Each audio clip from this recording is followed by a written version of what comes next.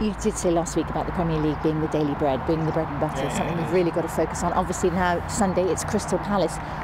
Likely to be a very different game to the Valencia game, yeah, of it? course, of course. I, I, said before the Valencia game, it's the favourite of, of the group. We play away first game. We still can, we still have other five games to play. We have a lot to win, and not so much to lose. Uh, now it's, it's, it's completely different. Now we're back to back to the Premier League and and, and playing aside. Uh, one of the new sides in, in, in this competition. Um, just came up from, from, from championship and they know, they know they need to get a lot of their points uh, playing at home so it would be very difficult and I think they will try to put it on the on the physical terms so uh, try to, to beat us in, in, that way. Do you think they'll try and take advantage of any potential tiredness that your guys might have? Yeah, I, I think they will they will try to to keep a pace, uh, high rhythm to, to, to beat us like that. Uh, and I, th I, think that we have to be ready for that uh, because it's, it's how it is. And do you think some of the new teams that come up, and Crystal Palace obviously are one team that a lot of people are already predicting will go straight back down. Well, I mean, does, does that make them more dogged, do you think? Yeah, but that's you have to accept that when you're a new, new team. Uh, the three uh, newcomers will always be uh, among the favourites uh, to go down. Um, you have the statistics from the last 15, 20 years. I, I think it will confirm that mm. one or two will go down but uh, you know, statistics, uh, it's not always there. They have to be broken, and uh, I think they've done well. Uh, Cardiff, our rivals here, beat Man City at home. Um, uh, Crystal Palace, they won. Hull already won as well. So they all already in the first game, all of them, they already have a, a win. And I think that's very important for them. And in terms of your relationship with your counterpart Ian Holloway, I mean, I know you said that you spent some time together at one of the managerial conferences. Yes, How do you find him? him? No, no, I, I, think he's.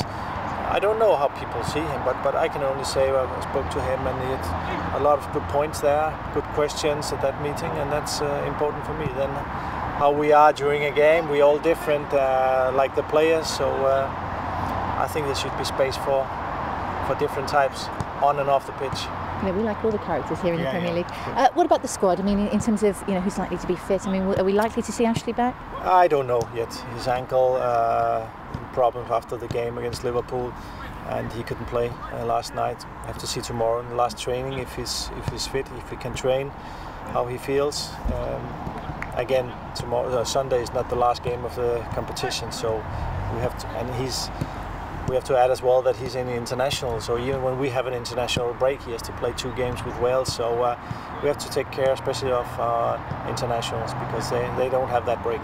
No, absolutely not. And of course, there's also the Capital One Cup defence that's, uh, no, that's no, happening as well. Yeah, so yeah. another we thing. We play every three days, you know, and uh, so after Crystal Palace, it's true we go to Birmingham, and after Birmingham we play Saturday against Arsenal. So they're coming uh, like like that. But again, we I think the, the players enjoy enjoying uh, the games and uh, especially when we have results, especially when we have results like the, the, one last night. And you look as though you're relishing it too. Yeah, I mean, it's very difficult uh, to, to cry when you win. Uh, it's uh, and, and, and, after the last two performances, especially the second half against Liverpool and, and, and last night, it is true that they got a red card after 10 minutes. But as I said post-match uh, I've experienced so many times that the home team, even with one less, with themselves, with the crowd, uh, coming back into the game, but we did not allow them, and we, I mean, it was 3 0. It could have been, it could have been six uh, last night before the second goal from Michu. I think we missed three very, very big opportunities to, to, to score, and so it could have been even, uh, even more. So, it, would it be fair to describe you as a, as a proud man at the moment? Yes, today, and I. But but again, we have to prove ourselves. We we have a challenge every three days, so uh, um, I can be happy, and I am uh, today. But again, uh, I'm already, and that's. I would I would change it if I could, but I can't. I already thinking about Crystal Palace. Uh, unfortunately, for me, almost uh, Valencia is gone already, and uh, I say unfortunately because as I would like to to have the possibility to, enjoy it a little more. But